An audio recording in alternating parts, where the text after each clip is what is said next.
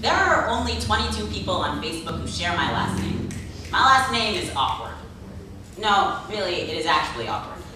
No, not awkward like I'm ashamed of it and don't want to tell you, but awkward as an synonym for clumsy. As an A-W-K-W-A-R-D-S, I'll show you my goddamn ID if you still don't believe me. Got it? Good. Anyway. there are only 22 people on Facebook who share my last name. My father, my sister, a cousin, an uncle, a great aunt, 11 people I've never met, but keep sending me friend requests and a handful I would have never stumbled across if I hadn't taken the time to look. We are scattered around the country, leaves after centuries of wind, so I'm sure that they are not all my family. Still, none of us are white. All families have their origin stories. There, when your grandmother, when your great-grandmother, when your great-great-great-great-great-great-grandmother came to this country, stories, of course, ours involves a hungry ocean.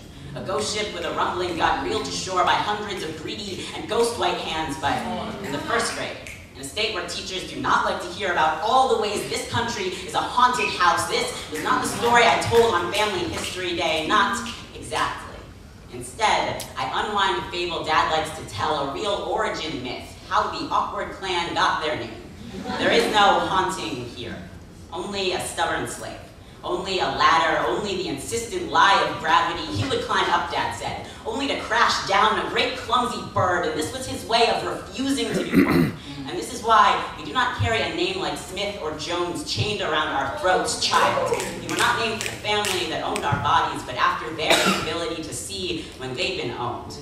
The white teacher just pursed her lips, shook her head like this was a dirty secret I had uncoiled from the darkest parts of me, let loose in her classroom a serpent, unhinging its jaws like she would rather I tell a story about the whip, about the bodies strung up and left to rot, about anything but the loopholes, but the way if we fling our bodies hard enough against the ground, the walls tremble. So I just stood there, avoided eye contact with everyone, just tongue-tied enough just unsure and bumbling and awkward enough that she had no choice but to join in the chorus of laughter, gently releasing me to my seat without insisting on the impossibility of my family's lie. I didn't know it then, but this teacher, she taught me everything I still know for sure. That we are all born fighting something, but that volume is not the same as urgency, so it is okay to be quiet. Yes. You should never trust the quiet ones because awkward can still be its own form of resistance. That there is a starving snake coiled in the maddest parts of me. That I can unhinge my jaws. That I can swallow you whole and that you would never see it coming.